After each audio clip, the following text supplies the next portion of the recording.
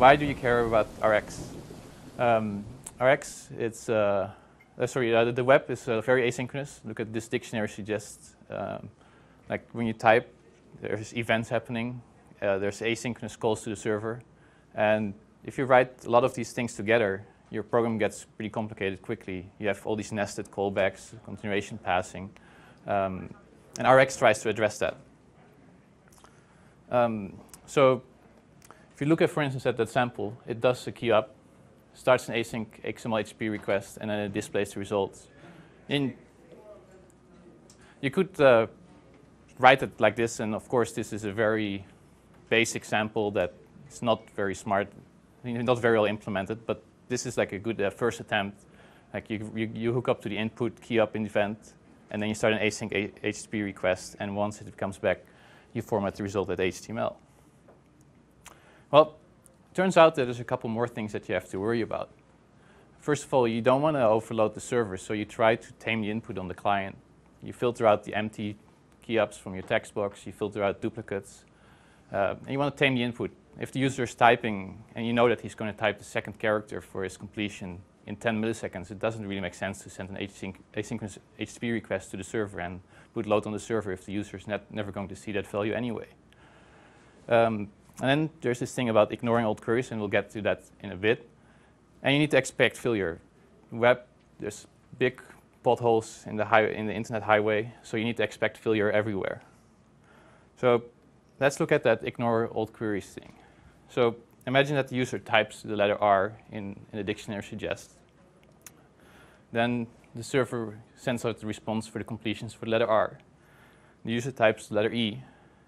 And now one of the servers is hit on your web farm that is a bit overloaded. So it's going to take a bit of time for this, this response to come back.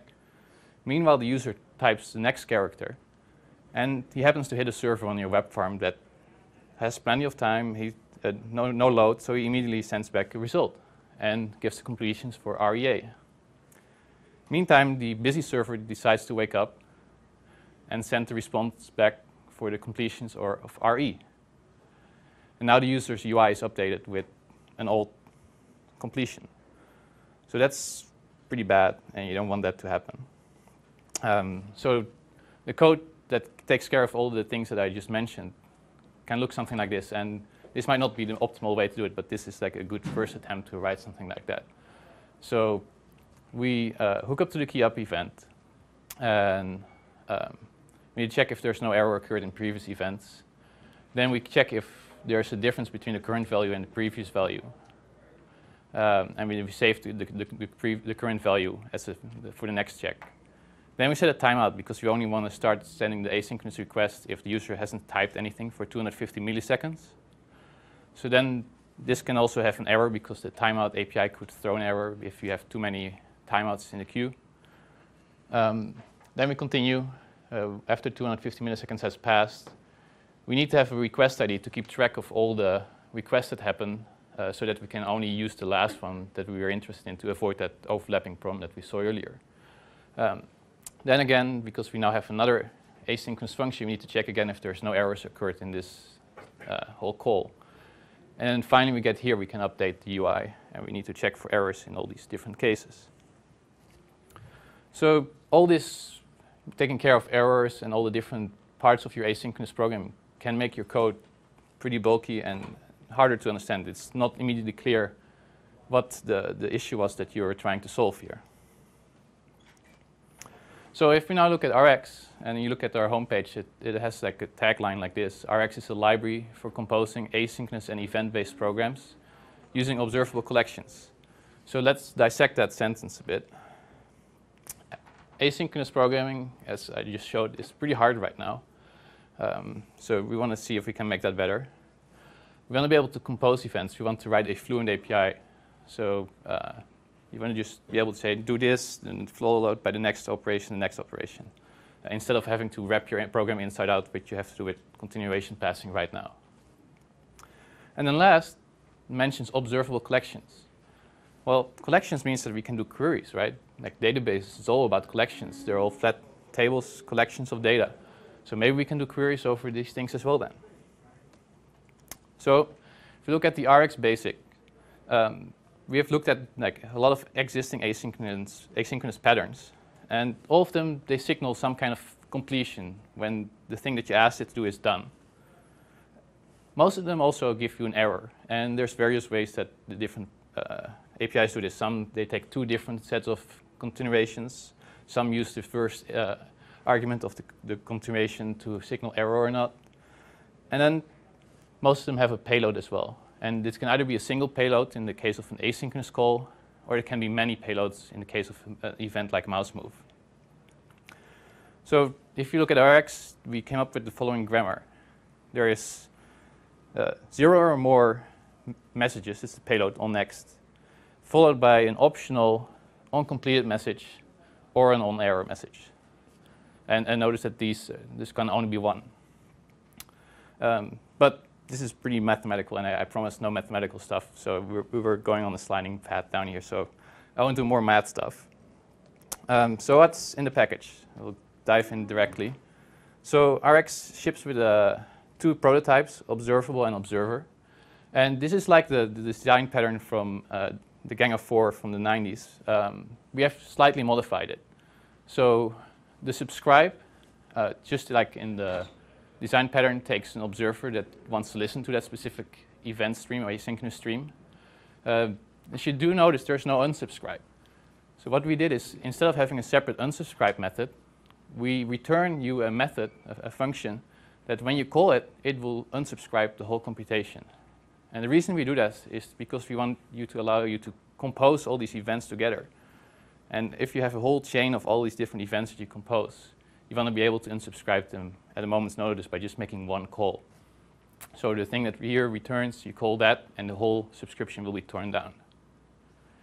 Now, if you look at observer, we split it into the three things that we mentioned in our grammar, on next, on error, and on completed. Um, so if you want to listen to these events, you just implement observer and implement these three methods. Um, and what we do is, by default, if you don't implement these two methods, on error will fire out the, it will just rethrow the exception. And on completed, will just be a no-op. Uh, and then for ease of use, we also allow you to just pass in a function instead of having to create the observer object. Um, so that's the basic part of, of the, uh, the package. Of course, that doesn't give that much additional value yet. The real value is in, in the lots of operators that we provide. Um, so we have a lot of conversions from existing JavaScript libraries. We have the, all the big ones, jQuery, Dojo, Prototype, MooTools, uh, YUI3. Um, and then we have a lot of manipulation operators. So we have projection, time-based operators, buffers.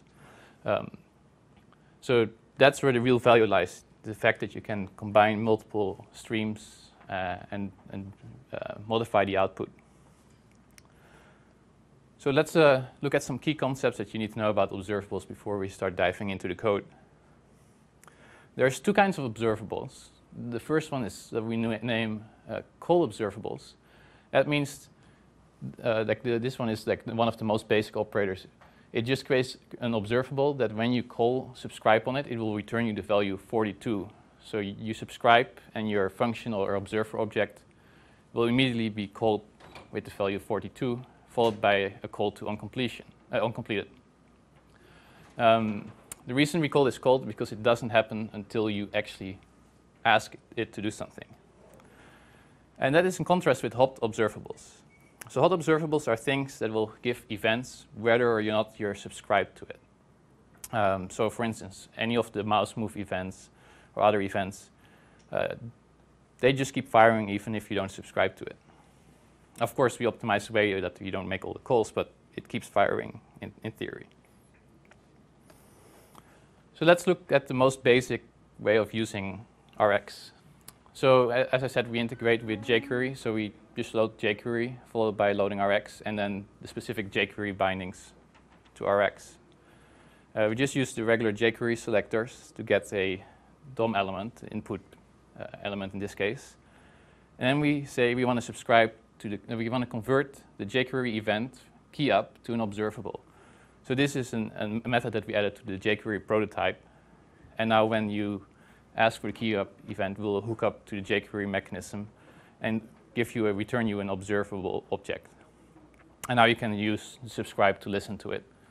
Um, and of course, this you could easily do without RX, but this is just the most basic sample. It shows how to start with RX.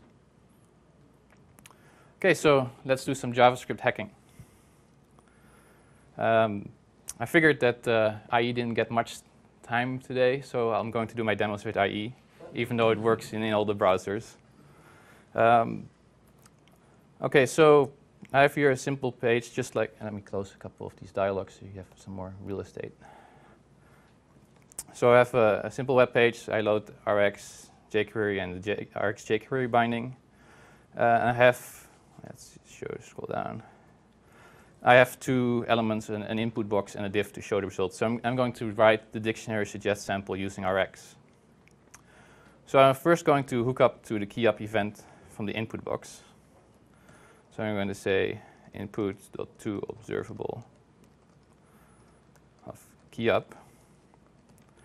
And now I'm going to subscribe to that. Uh,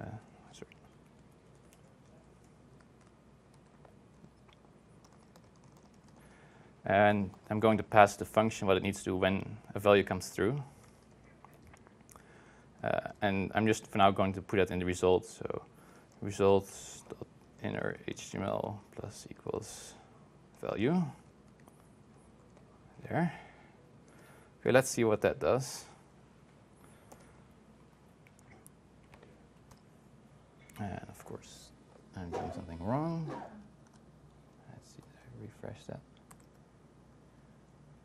Demo effect. Okay, let's. Right, Firefox. Let me just change this to an alert, see what I do wrong here. Uh, yeah, there something wrong with, maybe I missed. Were you using results directly? Ah, I know what I did wrong. I was using jQuery object to use in, in HTML, and I should do in results.html value. There we go. And still doesn't work results HTML. Let's do this. Have that. Yes, there we go. Okay, so it gives me object object, and, and the reason for that is because the event gives me the win the event object back. Um, so I don't want to use the whole event object. I'm really only interested in, in the value that's in the in the text box. So I'm going to do a, a projection here. So uh, I'm going to say instead of having this uh, event object in here, I want to have the value. So I'm going to select, and then I pass in a function value return value dot source element dot value. There we go. So now when I refresh this, when I type, I get all the values. Of course, now when I do arrows, uh, so now when I uh, copy and paste the same thing in, it displays the same value. Um, and when I do empty, it also shows that. So I want to filter out those events. So first I'm going to filter out the empty case.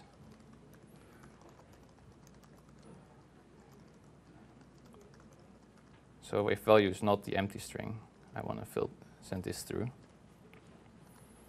So now it doesn't fire the empty case. And if I want to have the unique values, there's an operator that's called distinct until changed. It's like a distinct in a database. The only difference is that because these observable streams can be potentially infinite, it doesn't keep a cache of all the values that it's seen previously. It only keeps a cache of the, the, the last value it saw. So if you type A and then A again, it will not fire A. But if you type B afterwards and then A again, it will fire the A again at a later time.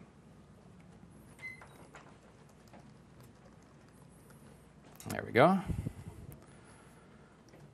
Okay, so that's working now. It's hard to see, I guess.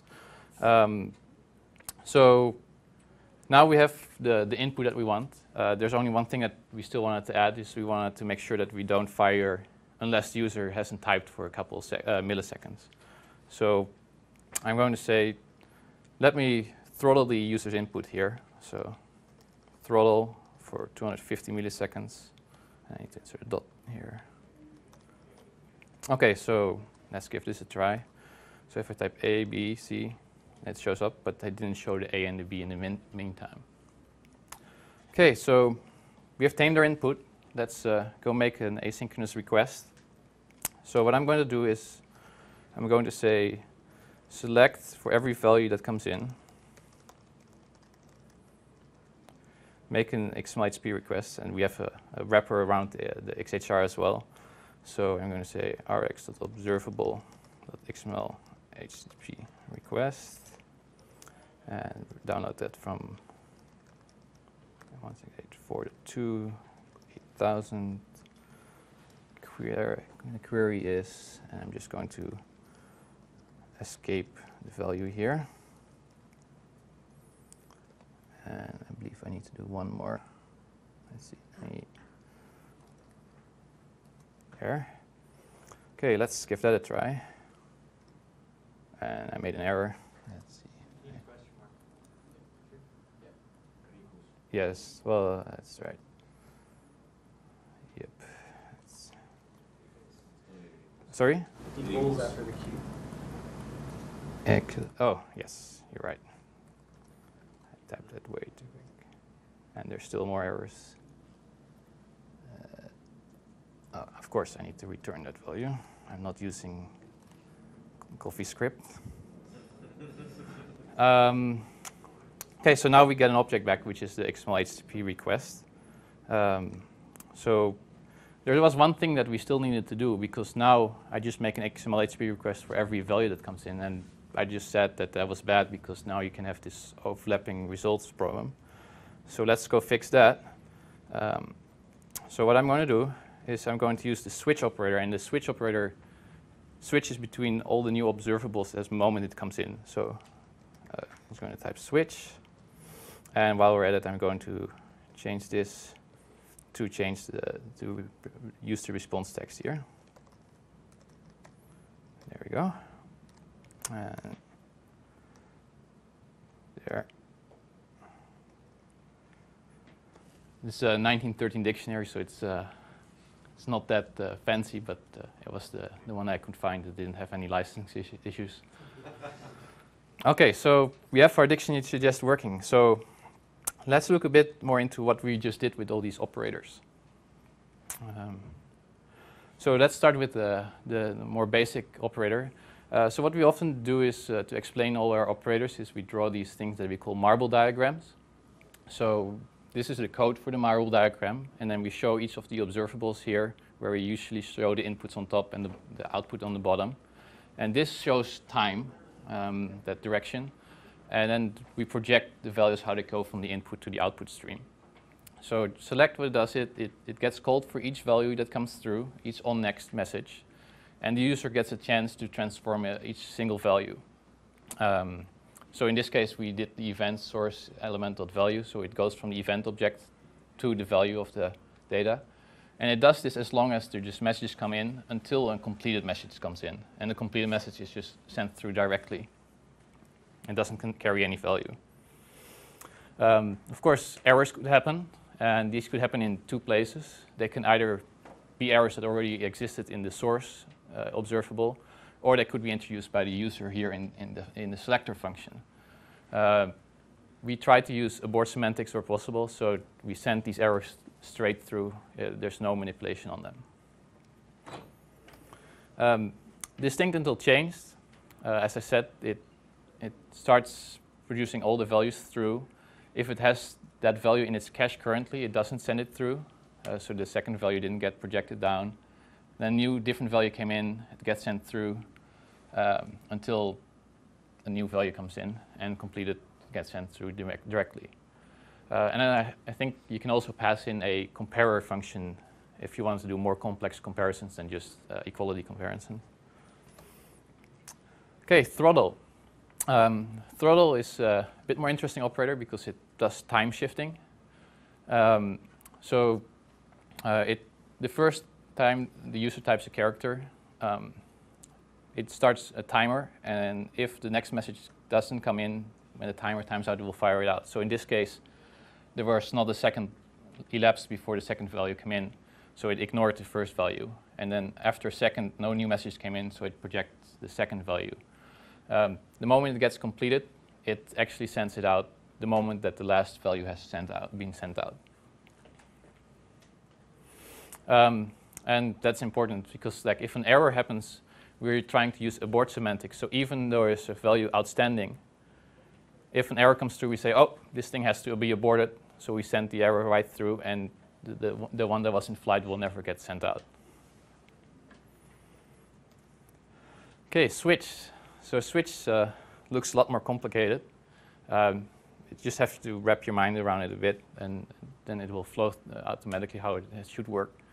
So what we did in our sample is that we selected from a value to a new observable. So what we actually created was an observable which payload, it, again, are observables themselves. So each value that comes through in that original observable is itself an observable.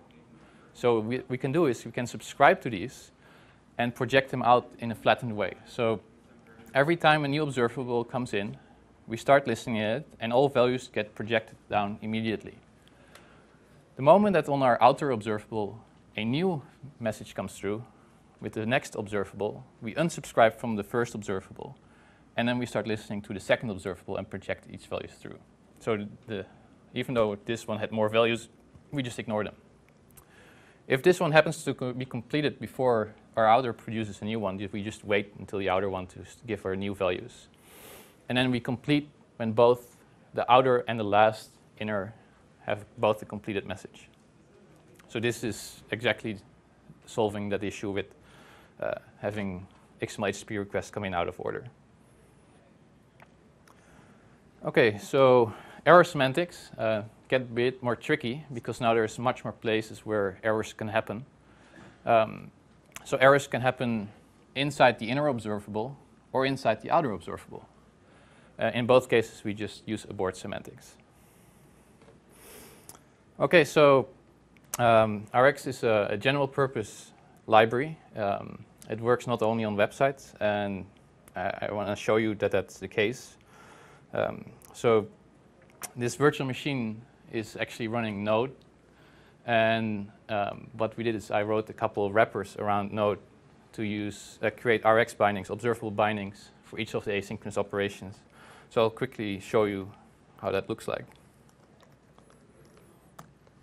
Yeah. So instead of requiring sys and HTTP and FS, um, I require RX sys and RX HTTP. And what we just did is we, we exported all the original functions, but then with a, an RX wrapper. So I create HTTP server just like uh, the normal package.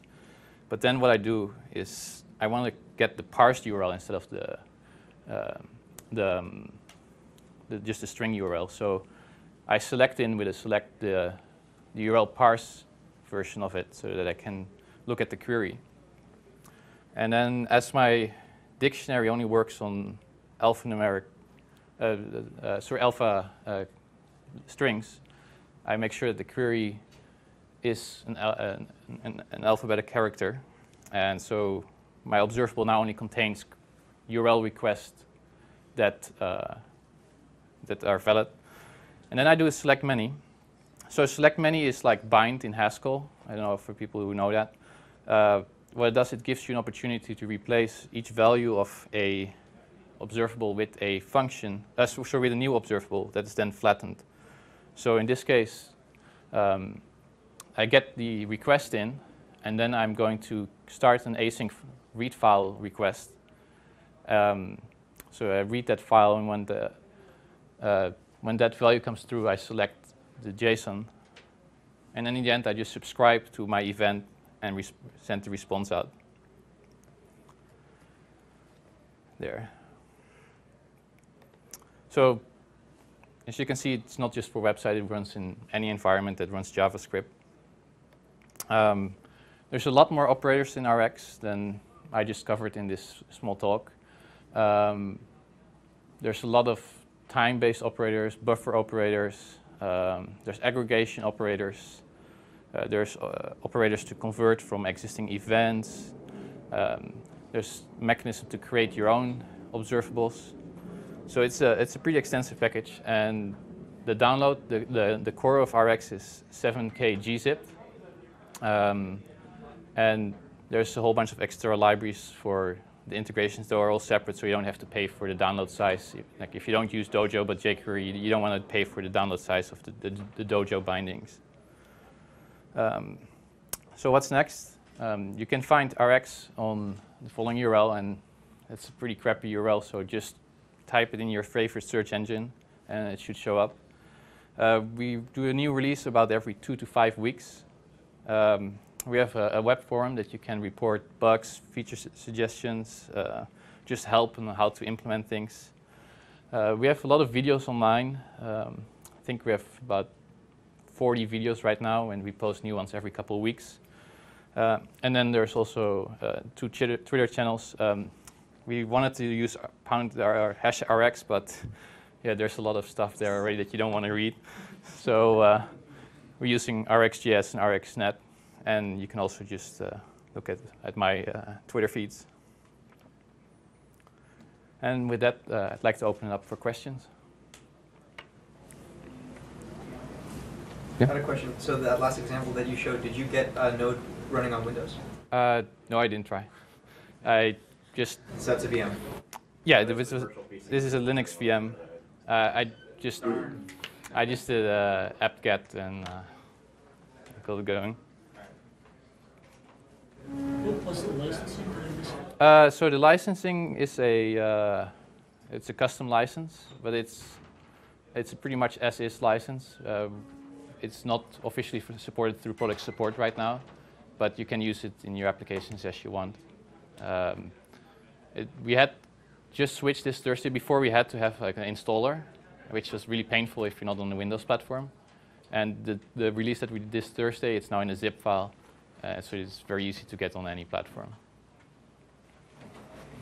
Yep. Not exactly a question, but uh, the comments perhaps that those marble diagrams are actually pretty cool. I was just kind of searching around. Actually, the top search hit for a marble diagram is the reactive framework. But I was just curious, there are other projects. I imagine it's all everyone uses it. Microsoft all behind the scenes, but mm -hmm. curious if there are other It seems like that should be something that other projects should. Yeah, it should be some, anything that's asynchronous can can benefit from this. It seems like there's like UML would be like the default place to go and look mm -hmm. at these kind of diagrams. I didn't know if this was like inspired by some other.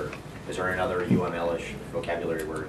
I don't know. We we came up with this when we like we needed to draw these things and like, hmm, how can we explain people what the behavior of these uh, operators is and just this came naturally. Okay. It's similar to like a client server diagram, though, right? Where you have the two lines of time going down the mm -hmm. make requests back and forth. Yep. So, uh, which is typically called a Stevens diagram Stevens? from the networking book.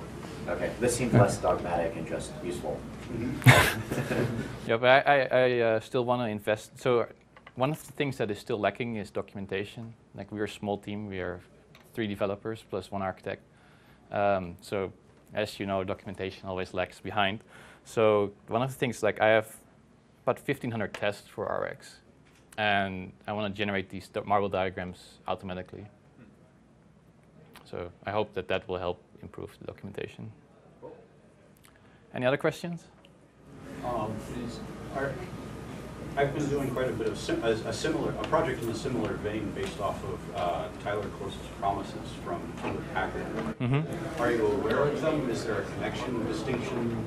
So there's a lot of reactive programming going on, and um, they're all good packages. The, the thing that we did is we really looked at like the, the, the monads and uh, from, from functional programming and used that as our basis. Um, I, I, have not seen how, how they base their programming. Yeah, there's, uh, it, it's interesting. I took a very similar approach. The, the promise life is usually called Q locally as an event queue. Mm -hmm. It doesn't. It does. It is uh, addressing a similar. Uh, a, it's less about streaming events and subscriptions and more about the about return results. Mm -hmm. It seems like there might be some connection. Okay, I'll, I'll look into that. I've, I've not had a chance to look into it. And I'll, and I'll look into this as well. Okay, good. Well, thank you for your time.